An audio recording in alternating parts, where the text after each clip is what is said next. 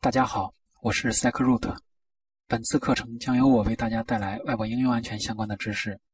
课程中涉及的知识点有以下几部分，我们来看。好，在介绍知识点之前，我先唠叨几句。说到信息安全，大家脑海里第一反应就是黑客。对，没错，就是黑客攻击。大家是不是顿时觉得热血沸腾？我们在电视、电影里经常会看到黑客控制别人电脑，盗取别人的数据，简直就是网络世界里的幽灵。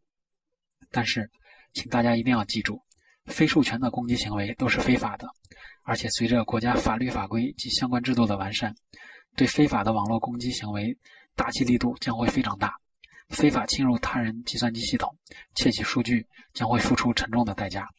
所以，我在这里再次重申，不得利用所学的知识进行非法的网络攻击，这是大家一定要注意的。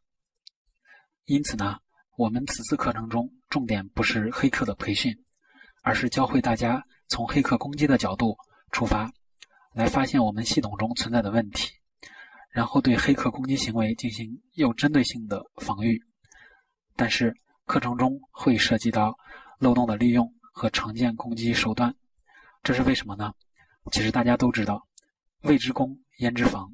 我们只有清楚地了解了这些攻击手段、这些漏洞的利用环节。才能更好的防止网络攻击的行为，才能更好的保障我们的网络安全。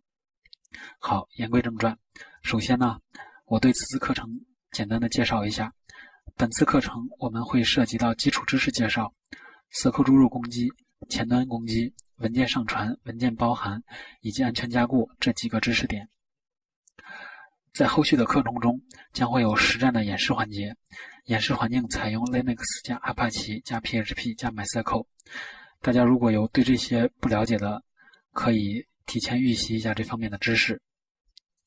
开篇知识，我们主要介绍 Web 应用的概念、工作原理，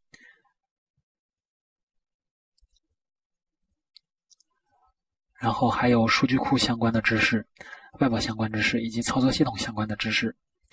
开篇知识是为后续讲解的内容做铺垫，后续课程中用到的知识点会在这一章做简单的介绍。对这方面知识不熟悉的同学，可以在课后抽空了解一下，以便能对后续课程知识进行快速的理解和接受。其实我们也能看出来，数据库相关的知识将在下一章节 SQL 注入里面重点会用到。Web 相关的知识如 HTML、JavaScript 这些知识会在前端攻击如。XSS 的跨站脚本攻击、CSRF 跨站请求伪造攻击中都会用到。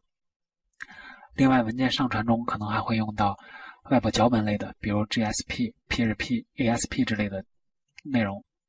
操作系统相关的知识就比较复杂，可能我们在平时的安全防御或者安全测试中都会和操作系统相关。这方面实际用到的，我们后面相关的有文件名解析。外部中间件，这些在后面的文件上传和安全加固中会用到。主要重点的安全知识点部分，如 SQL 注入、前端攻击、文件上传、文件包含，我们将从代码级别进行漏洞原理的解析，从实战角度进行漏洞威胁的演示，从漏洞的成因来解讲解如何防御，防御手段可以是修改代码。可以是从这种手段直接修改代码去做加固的话，可以从本质上解决问题。当然，我们也可以采用第三方的安全设备，比如外部应用防火墙。采用外部应用防火墙的目的是因为，比如我们现在发现了一个漏洞，但是因为我们的开发人员没有足够的时间去修改，但是这个时间段可能会有黑客攻击，那我们就可以采用第三方的安全设备，先对攻击进行一定的封堵。然后我们的开发人员再从代码去做实质性的修改，以达到我们的系统安全。在最后一节里面，我们会讲以一个实例来讲解外部应用安全加固。实例环境是还是 Linux 加 Apache 加 PHP 加 MySQL 环境。这部分内容主要是对外部应用系统的运行环境进行加固，如外部服务器操作系统的目录权限控制，外部中间件的运行权限控制。配置文件参数选项，比如 MySQL 的配置文件、阿帕奇的配置文件以及操作系统的敏感配置文件，从这几个方面进行加固，最终我们可以自己打造出来一一款非常安全的 LAMP 环境，也就是 Linux、阿帕奇、MySQL、PHP 的环境。同时，我们还对我们的操作系统进行了加固，以保障我们的外部应用系统的安全。好，接下来我们来重点对第一章节开篇知识进行讲解。在开篇知识中，我们会了解到外部应用安全的概念、工作原理、数据库和操作系统的相关知识。我们先来看一下什么是外部应用。通常情况下，我们理解的外部应用是指提供外部服务的应用系统。其实通俗讲就是一个网站。比如说，我们通过浏览器向外部服务器发起请求。也就打，也就是我们打开一个网站上的链接，这个时候服务器接收到请求，将相应的服务器资源，比如图片、文本这些内容，以网页的形式展现给访问者，也就是我们在网页上看到的内容。这个系统就是外部应用。好，我们上面理解了外部应用，那我们再来看一下外部应用的工作原理或者它的工作流程。其实上面讲解的基本上已经点到了一部分内容。对于外部的工作原理或者流程，我们来看这个图。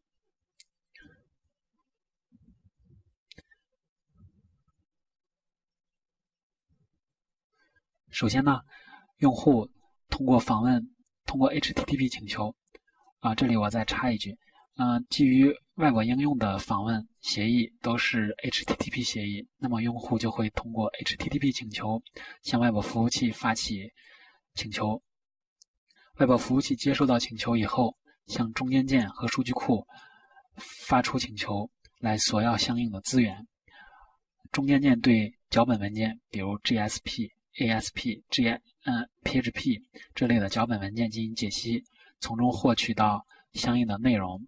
比如说，这个内容中现在要查询数据库的某部分相关数据，那就会再调用数据库，从数据库里面提取出相应的数据，最终再以页面的形式展现给用户。这个时候展示给用户的时候是一个 HTTP 响应，HTTP 的响应过程。网页里面有静态和动态的两种方式。这里有一个知识点。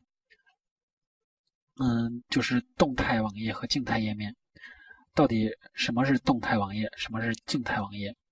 可能有的同学会说，动态网站不就是网页上有 Flash 动画，有 GIF 动态图片，甚至是基于 HTML 开发的动态效果？其实这样的理解是不正确的。我我来介绍一下什么是动态网页。动态网页就像我们刚才这个流程图里面介绍的，用户通过发送 HTTP 请求，中间件解析相应的脚本文件，再从数据库里面去调用相关数据。这个动态网页指的是和后端的数据库交互，动态的提取所要用户所要呃了解的数据，然后反馈给用户。这样的网页我们称之为动态网页。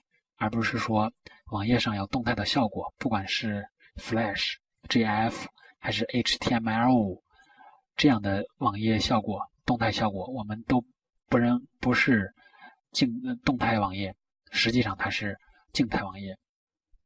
对，看到这个图以后，可能有同学还会有一些疑问：呃，为什么我的外部服务器只有一台机器设备，而这个图里面却用了三台呢？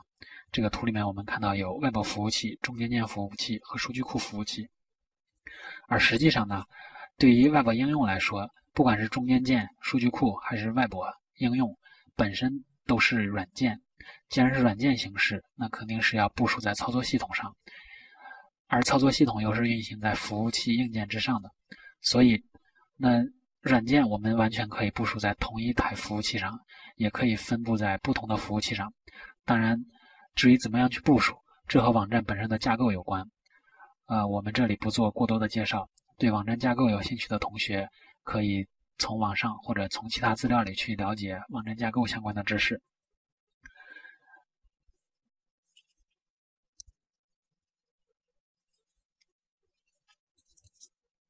好，接下来我们再看外部相关的一些知识。外部相关的知识呢，主要有 HTML、JavaScript 以及相应的脚本类文件，比如 ASP、PHP、GSP 之类的。呃，这里这个知识点的话，主要涉及的是外部开发相关的，啊，不是我们本课程的主要内容，所以我不做详细介绍。但是这里我可以推荐一个网站，W3C School，在这个网站里面，我们可以看到很多相关的知识，比如 HTML、服务器脚本类、数据库类，以及浏览器脚本 JavaScript 之类，我们在这边这个网站里面都能看到。而且这个网站不不管是从这个语言或者这个脚本，或者说这个用法上，还是实际的它的实例介绍上，都讲得非常详细。对这方面知识不太了解的，建议可以从这个网站上去学习。最后，我们看到的是数据库和操作系统相关的知识。数据库知识我们刚才也说了。在下一章节 SQL 注入里面非常重要。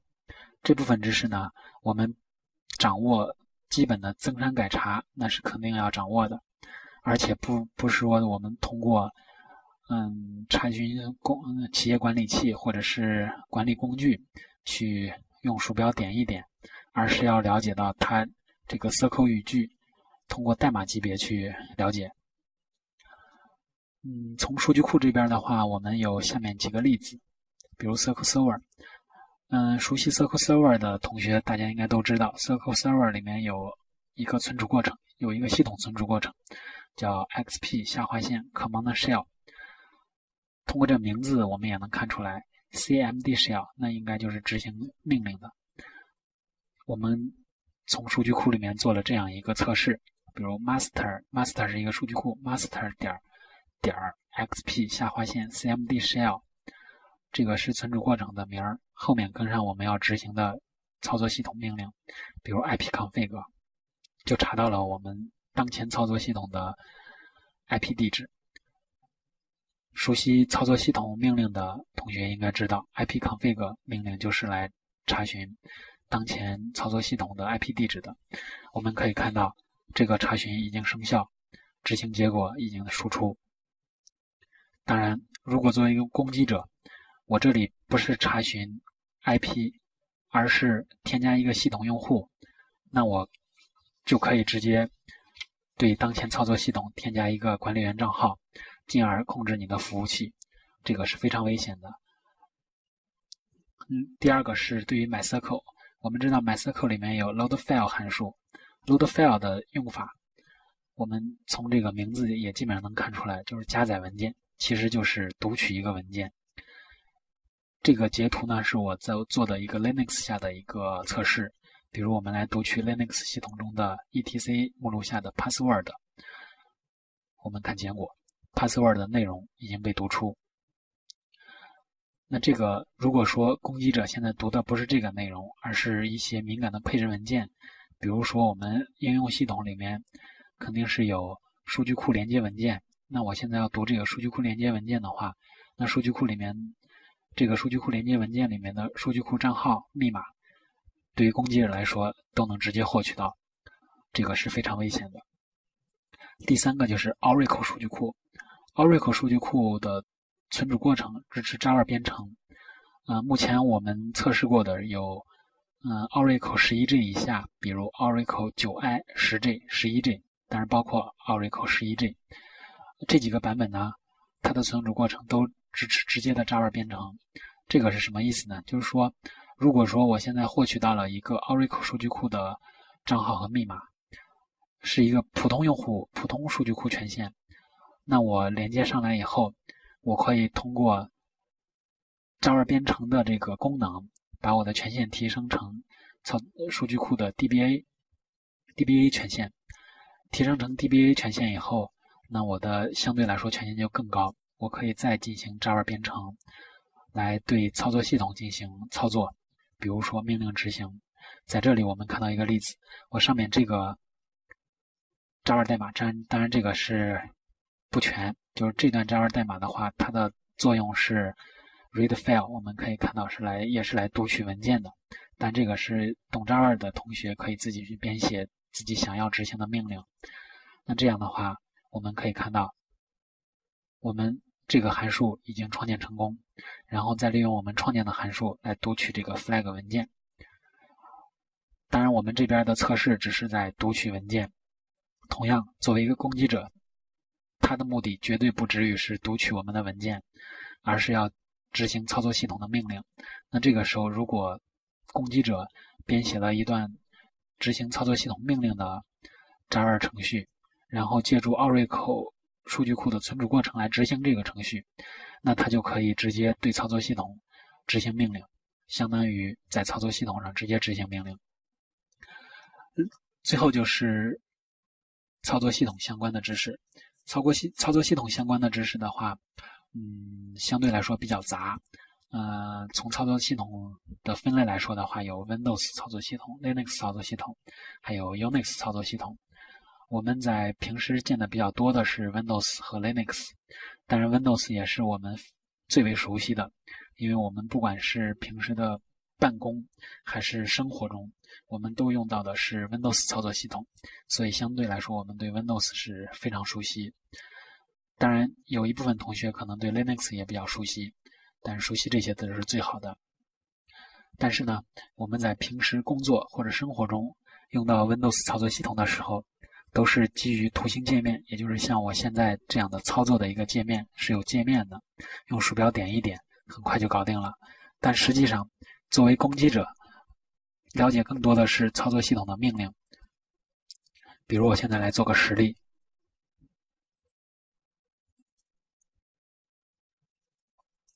对，这个是我们刚才数据库里面执行的一个命令，叫 ipconfig。我们看到这个命令执行以后，我当前系统的 IP 地址就已经被输出了。ipconfig 输出了相应的 IP 地址。当然，如果要了解这方面内容的同学有兴趣了解的话，可以下去查，在网上查一些有关 Windows DOS 命令的知识来进行学习。但这些命令。不只是要了解这一个命令本身，我们还要了解它的相关参数。参数我们怎么去了解呢？或者说我们在不知道的时候怎么去查询呢？这些命令还有相应的帮助文件，我们来看一下。我们来看杠 h 斜杠 h 就相当于是一个 help 帮助查询，不对，应该是杠问号。我刚才这边输错，报错了。再来看一下，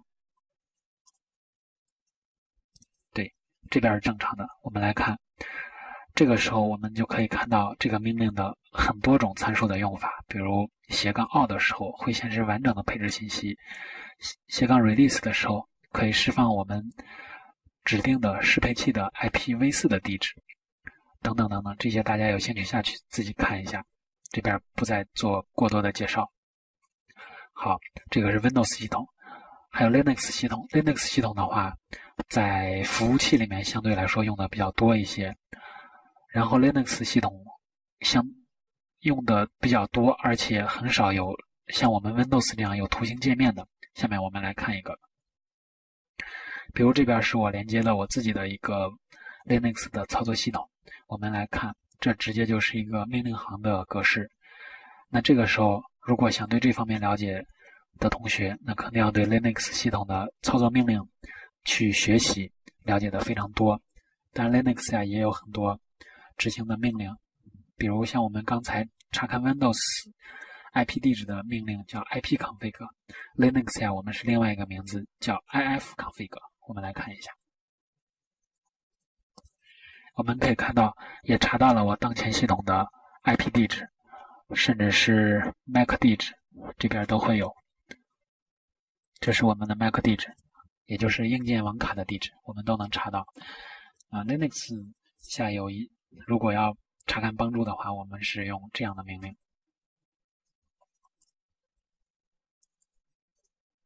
我们可以看到，用刚刚 help 就是帮助来查看这个命令的用法，详细的参数我们都可以用到。但除了这个命令，还有。其他非常非常多的命令，这里我就不一一做详解。这方面知识，不管是 Windows 操作系统、Linux 操作系统，我们在实际中、实际渗透测试或者实际安全测试中用到最多的都是命令行。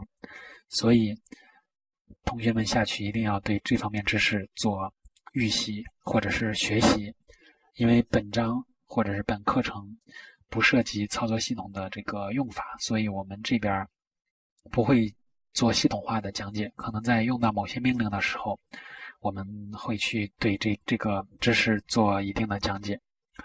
好，以上介绍的知识点，如果有不了解的同学，希望在课后能及时充电。下一章节主要讲 SQL 注入，我们将以 MySQL 为例。MySQL 是一个数据库，一个开源的数据库。像上面我们刚才也讲到了，SQL 注入主要是基于 SQL 语句来执行的，所以对数据库不了解的同学一定要提前预习。嗯，因为我们本身是以 MySQL 为例，所以建议大家先从 MySQL 去入手。好。今天的课程就讲到这里，谢谢大家，下期再见。